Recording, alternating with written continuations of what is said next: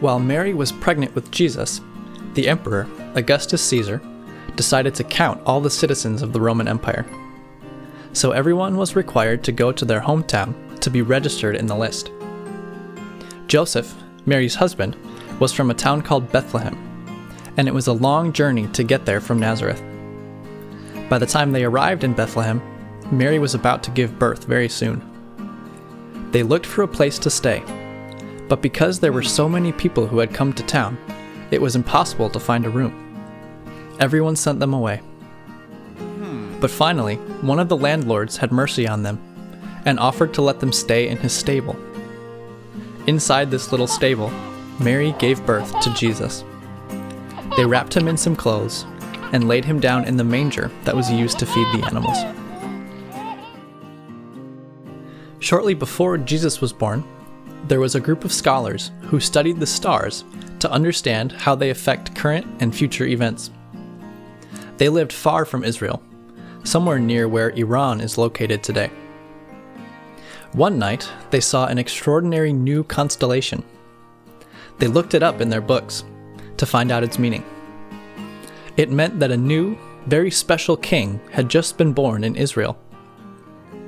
Knowing this, they went on the long journey to Jerusalem, the capital of Israel. There, they visited the current king because they assumed that he had just had a son. But the king had no idea what they were talking about. He asked his own scholars, who studied the Jewish Bible, what this all could mean. They found prophecies that this special king was to be born in Bethlehem. So the king sent his visitors there. Arriving in Bethlehem, they found the stable. There they were filled with joy, seeing Jesus, the newborn king, and they gave him precious presents gold, incense, and myrrh.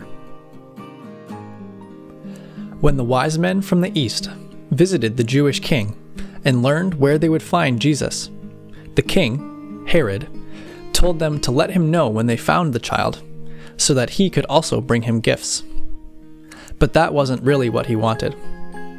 He was afraid of losing his power to this newborn king, so he decided to kill him. The wise men had a dream on their way back to Jerusalem. God warned them to not return to Herod or to tell him about Jesus. That night, Joseph also had a dream. He was visited once again by an angel, a messenger from God, who told him, King Herod wants to kill Jesus. Take him and Mary and leave the country. So Joseph took his family and traveled to Egypt. After they had left, soldiers of King Herod arrived in Bethlehem and killed every boy there who was younger than two years old. Joseph, Mary, and Jesus lived in Egypt as refugees until King Herod had died.